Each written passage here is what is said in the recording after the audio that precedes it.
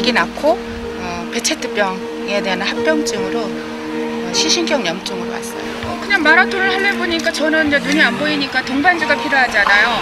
이렇게 가는 겁니다. Let me comfort you.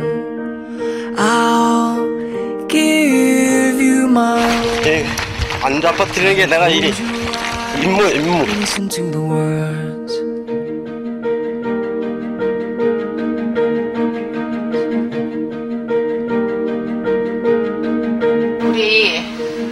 한가 기념으로 미국 대륙 횡단 5,000km 가자.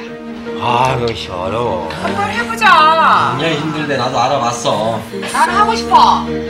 I can feel your heart. 고집 부린다고 되는 일이 아닌데 내 입장에서는 정말 걱정이 많이 되고 지금까지 마라톤 해온 것도 솔직히 쉽지는 않았으니까 그치만 저 사람이 할 수 있다는 걸 내가 인정 안 하면 누가 해주겠어